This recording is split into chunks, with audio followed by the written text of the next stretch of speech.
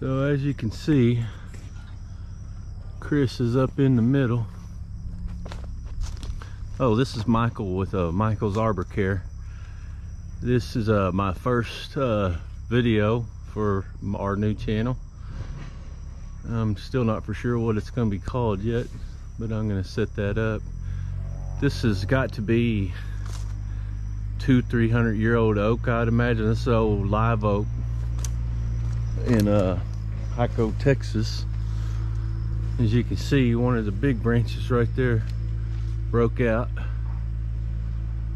But it's still a magnificent tree, just amazing. It's gotta be close to six foot across at the base. And these old field oaks, they take a long time to grow. So I'm not even for sure without doing a core sample how much it has or how long it's been here. Let's crawl up here where he's at real quick and I'll show you.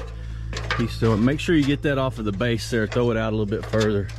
I guess we could go back and blow it out, but as you can see, this has a heck of a recess inside of it.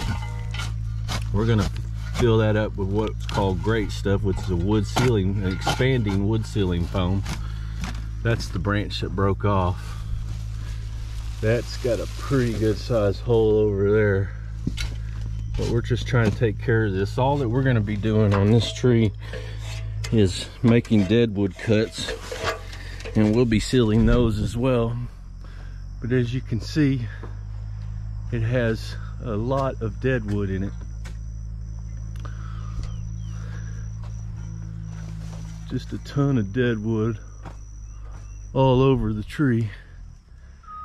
And that's all that we're going to be doing. I'm not going to be making any live cuts because there is a ton of oak wilt out in this area. Um, so that's going to get us started. Michael's arbor care in hamilton texas. We're working in Hico, which is about 20 minutes down the road all right, I'll catch back with y'all later.